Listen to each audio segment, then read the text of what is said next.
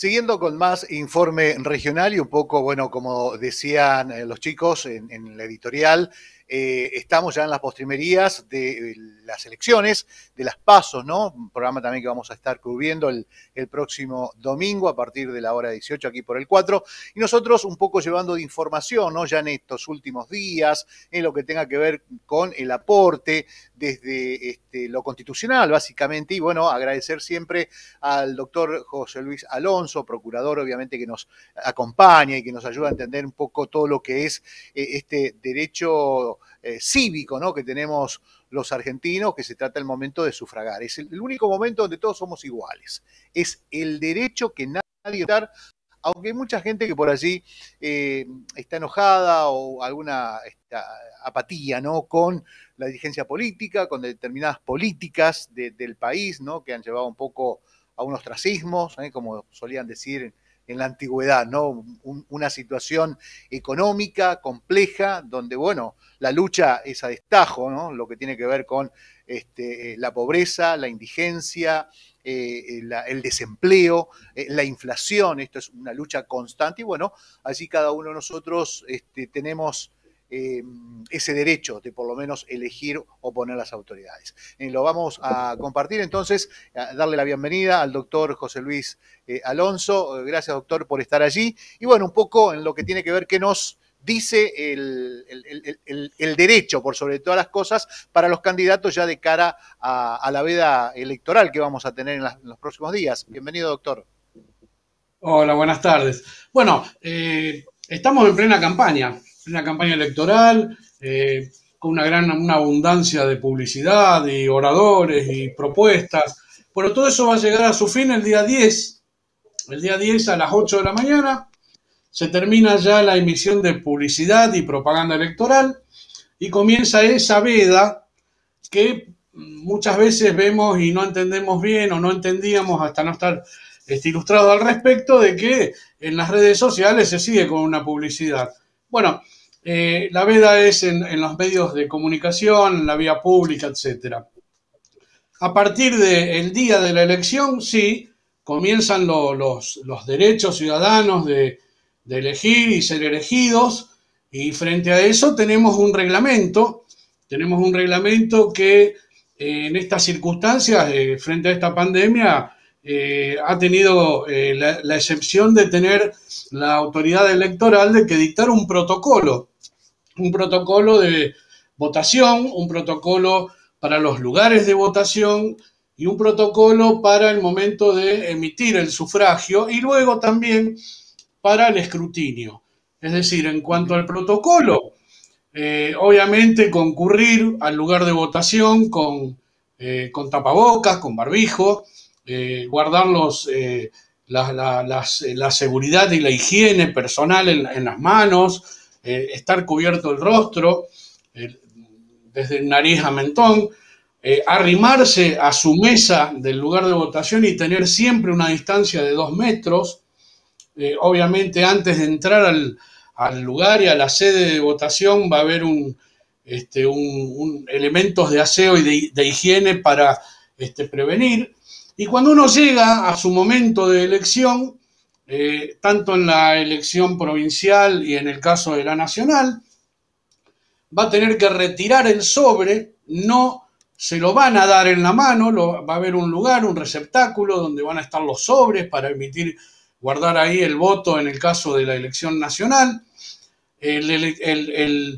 La persona va a retirar, previo a haber dejado su documento de identidad, sobre la mesa, en un lugar también que el presidente de mesa y las autoridades de mesa le van a indicar, eh, va a retirar el sobre, va a entrar al cuarto oscuro y bueno, aquí también hubo una publicidad falsa en que no se podía cerrar el sobre con saliva. Bueno, eh, hoy eh, la autoridad electoral emitió este, un comunicado de que no, que eso es falso, de que eh, en lo posible hay que resguardar la forma de doblar la solapa del sobre dentro del cuarto oscuro con el voto adentro, tratar de llegar a la urna con ese, ese, sobre y la solapa cerrada, que no se vea el voto que se va a emitir para que no sea un voto cantado y emitir su voto.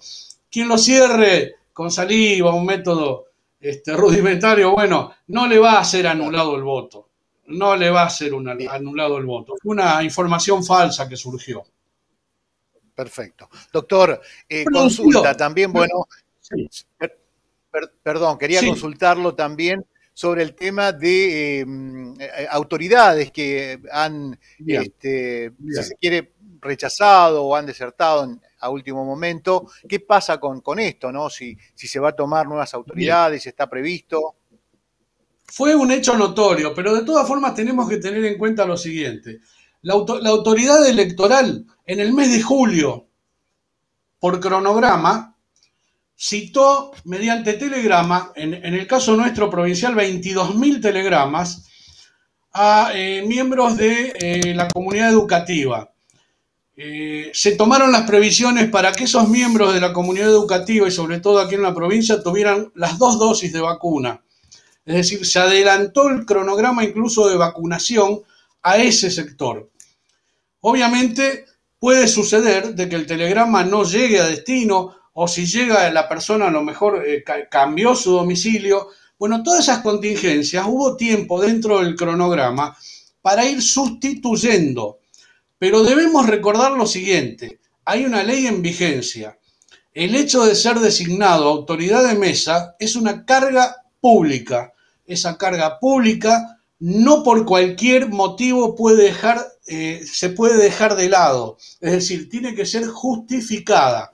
La justificación se debe presentar frente a la autoridad electoral. Y hay sanciones graves para quien elude la obligación y la carga de ser autoridad de mesa lo cual eh, nos pone dentro de eh, una normativa que indica que esa persona que ha sido designada y que por algún motivo el día de la elección o por, o por tener una enfermedad o por no poder concurrir, debe justificar frente a la autoridad electoral su no concurrencia. Frente a esto, hay alternativas. Las autoridades tienen alternativas como para ir cubriendo esas vacancias que se van produciendo dentro del plantel de la comunidad educativa. Pero aún si no alcanzara con eso, eh, el responsable de cada local eh, donde se va a emitir el sufragio va a abrir una nómina, una lista de contingencia con voluntarios que quieren ser autoridad de mesa. Recordemos de que eh, mucha gente se anota como voluntario, quiere ser autoridad de mesa, va a la autoridad eh, de, la escuela, del lugar de votación y se anota en una lista voluntaria y va a ser llamado o con anterioridad o el mismo día del sufragio. Bien. Doctor, eh, vuelvo con el tema de aquellas personas que no van a votar y no lo pueden justificar al no, este, al, no voto. Eh, ¿Tienen sanciones punitorias? ¿Siguen ese monto en, dinero? Sí, eso en cuanto al, Estábamos hablando de autoridades. Las autoridades tienen hasta prisión prevista, ¿eh? En caso de que injustificadamente no asistan. En cuanto al, votante, eh, tiene 60 días para eh, justificar su no voto. Es decir, supongamos un votante que ha viajado por eh, cuestiones familiares o lo que sea, está a más de 500 kilómetros, se debe presentar frente a la autoridad competente, pide una certificación y luego a su regreso tiene 60 días para justificar ante la Cámara Nacional Electoral la no emisión del sufragio, porque sí, tiene sanciones y tienen este, multas. Eh, en el caso en que el, que le está hablando pertenece al plantel de la Defensoría del Pueblo, la Defensoría del Pueblo tradicionalmente ha abierto unas oficinas y empleados especiales para este, tomar eh, esa justificación de no voto y remitirlas a la, a la, Cámara Nacional Electoral. Y si no, el propio interesado puede Puede ser un caso de enfermedad también, ¿eh? el mismo día de la votación. Entonces hay que ir a la autoridad sanitaria, de, este, pedir ahí una certificación y luego se presentará para poder justificarlo. Doctor, vuelvo con el tema de coronavirus. ¿eh? no, estoy este, eh, transitando la, enfermedad. Eh, no estoy obligado a ir a votar, pero quiero votar. ¿Cómo me debo manejar ahí?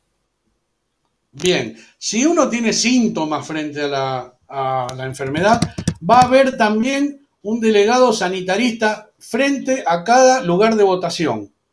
esa autoridad, que se constituye en una autoridad sanitaria, tiene las instrucciones, porque puede haber síntomas leves o puede haber síntomas que se confundan con COVID. Y va a haber, obviamente, los lugares dentro del protocolo sanitario que se, que se tiene previsto, los lugares van a estar distanciados, aireados, es decir, eh, se le va a permitir el voto. Obviamente que ya frente a un caso notorio y un caso de, casi inmovilidad, el mismo interesado no va a llegar al lugar de votación.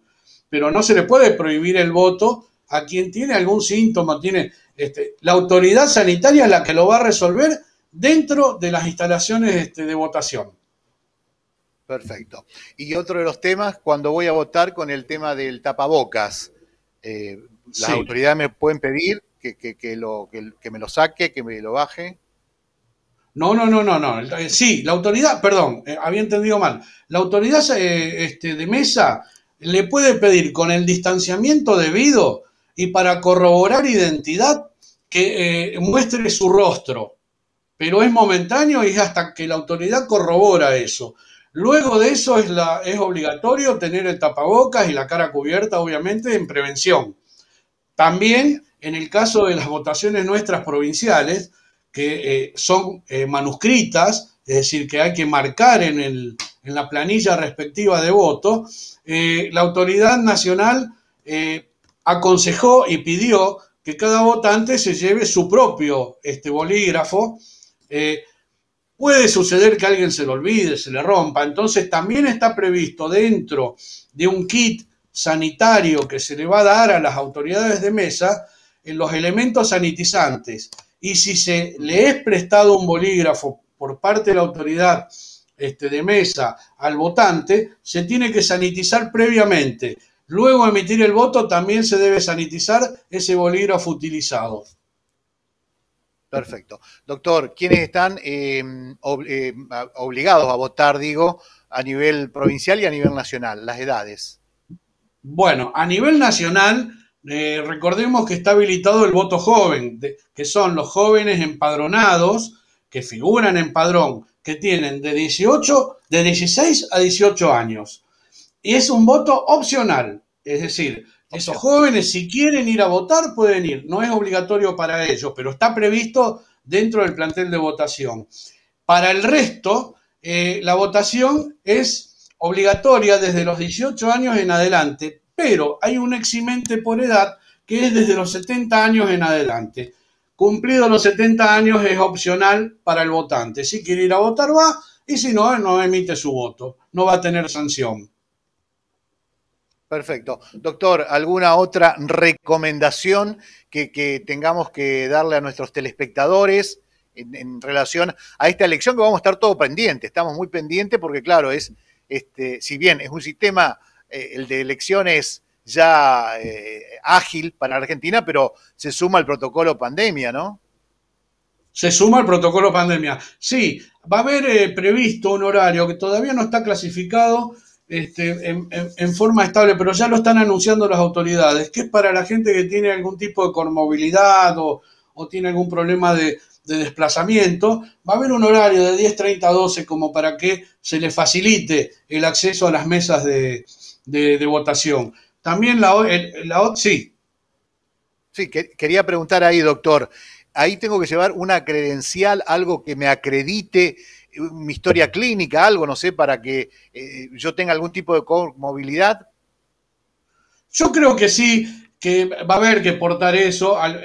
algunas, algunas personas por su movilidad en apariencia ya no es eh, lo, sospechoso de que quieran ganar un lugar como para ir, pero yo creo que la autoridad sanitaria tiene ya las instrucciones y va a tener, o sea, obviamente el interesado va a tener que llevar eh, una credencial, si tiene su credencial de discapacidad, que es muy común que la tengan portando y, siempre estén encima, pero eh, yo creo que también queda al criterio y a la buena convivencia y a la charla que uno pueda tener con la autoridad sanitaria que está en ese momento destacada en la, en la zona de votación.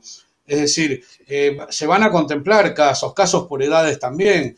Yo he visto casos eh, que el, cuarto oscuro estaba en una planta alta y han bajado la urna hasta la puerta del lugar de votación, se han trasladado las autoridades para que vote una persona de mayor edad, y esto no en épocas de pandemia, yo creo que ahora se van a contemplar muchos más estos casos.